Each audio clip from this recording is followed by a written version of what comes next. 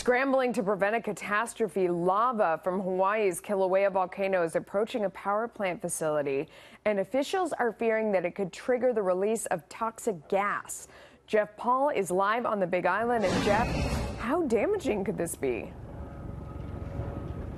Yeah, there are real concerns right now about that lava that is getting closer and closer to that geothermal plant. If that were to happen, there could be a release of toxic steam as well as some explosions. And that's part of the reason why you see here the Hawaii National Guard has these Black Hawk helicopters on standby and ready to go should anyone become stranded and need rescuing.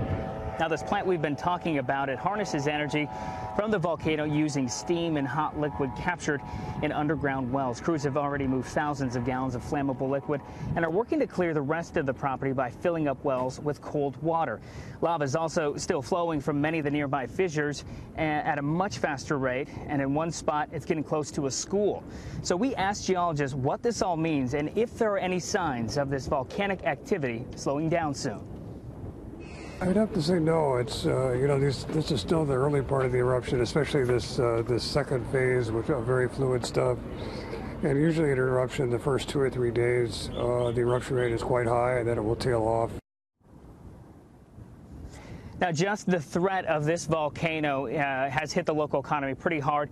$222 million in lost revenue so far when you include funds that normally go uh, to the national park and to the 2,000 jobs indirectly uh, impacting it. Cruise ships have also canceled their visits to the Big Island, and tourism authorities say bookings from the month of May to July have dropped by about 50 percent.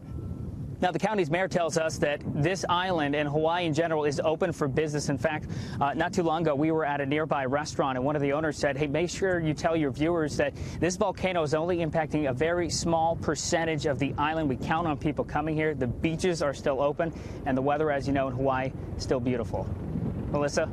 Wow. And when it's all over, a lot of people are going to want to see it too. Jeff Paul, thank you.